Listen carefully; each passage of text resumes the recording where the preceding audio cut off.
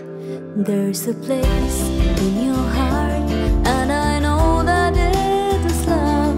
And this place could be much brighter than tomorrow. And if you really try, you'll find there's no need to cry. In this place, you feel there.